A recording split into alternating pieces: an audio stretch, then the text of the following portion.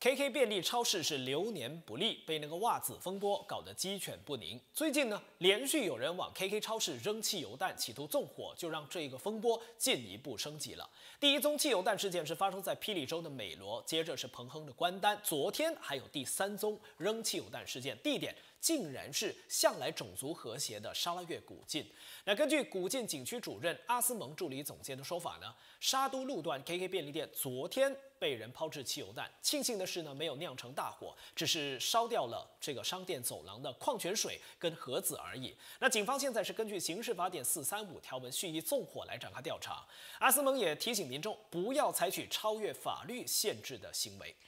沙拉越执政党土保党的署理秘书长兼沙都区州议员伊布拉辛巴基，他就说，暴力行为无论是在任何情况之下都不可以被接受，更不应该发生在沙拉越。沙拉越的特征就是多元社区的团结。那这一次的袭击事件前所未闻，也从来都不是沙拉越的文化。他呼吁警方要采取严厉的行动，也呼吁民众保持冷静，遵守法治，让警方继续调查此事，别乱猜测，还有擅自行动。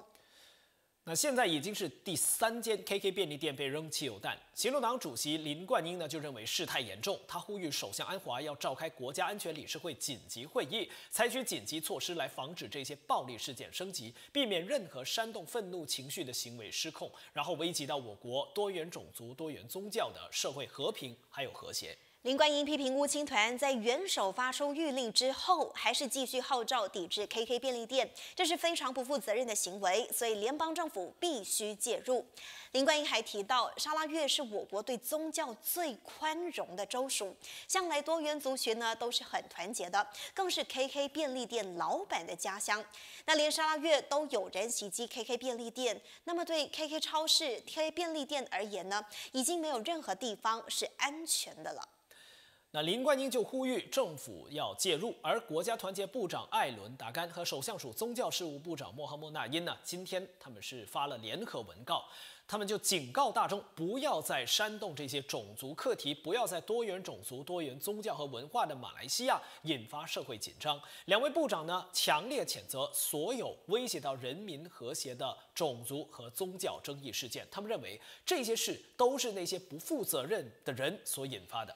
那另外，针对第一宗发生在霹雳州美罗的汽油弹事件，警方目前是已经向七个人陆续口供，包括便利店员工以及公众人士。达巴警区主任莫哈默纳因说，干案的人还没有抓到，警方目前还在鉴定嫌犯的身份。同时，警方呢也会加强所有 KK 便利店的巡逻工作，避免类似的暴力事件再度发生。